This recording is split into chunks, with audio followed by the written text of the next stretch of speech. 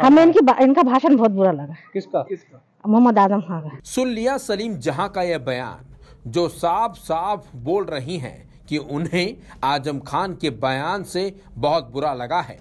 क्योंकि आज़म खान ने न सिर्फ़ गंदा बयान दिया है बल्कि महिलाओं का अपमान भी किया है। अब आप ये सोच रहे होंगे कि आखिर आज़म खान ने ऐसा क्या बयान दिया कि महिलाओं को न सिर्फ़ बुरा लगा, बल्कि उन्हें सपा के कद्दावर नेता का बयान गंदा भी लगने लगा। सुनिए आज़म खान के उस बयान को भी, जिससे मुस्लिम महिलाएँ भड़की हुई हैं।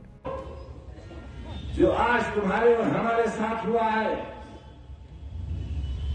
चार सरकारों में अगर मैंने ऐसा किया होता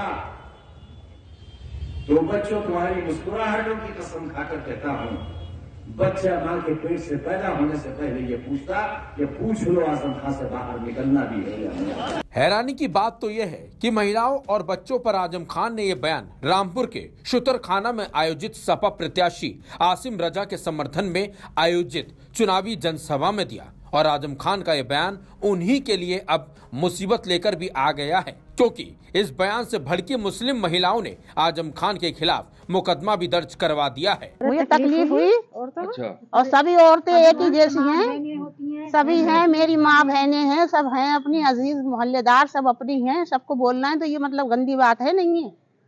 ये बोलना चाहिए उनको? तो आप थाने आई हैं आप? हाँ मैं थाने आई हूँ रिपोर्ट कराने।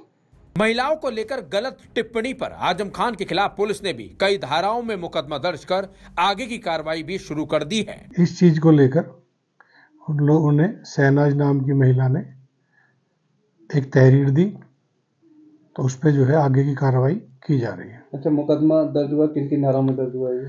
इसमें मुकदमा दर्ज हुआ है धारा तीन सौ चौरानवे बी तीन सौ चौवन ए तीन सौ तिरपन ए पाँच सौ पाँच दो और पाँच सौ चार पाँच सौ नौ एक सौ पच्चीस। मुस्लिम महिलाओं ने साफ़ साफ़ बोला कि आज़म खान को महिलाओं पर ऐसी टिप्पणी नहीं करनी चाहिए थी और उन्हें शर्म भी आनी चाहिए, क्योंकि महिलाएँ उनके घर पर भी हैं। खैर, जो भी हो, हेट स्पीच के मामले में पहले से ही फंसे आज़म खान ने एक और विवादित बयान देकर अपने लिए गड्ढा तो ज़रूर खोद ही लिया है, जिससे बच पाना आज़म खान के लिए आसान नहीं होगा। VK news. वीके न्यूज़, राष्ट्र के नाम।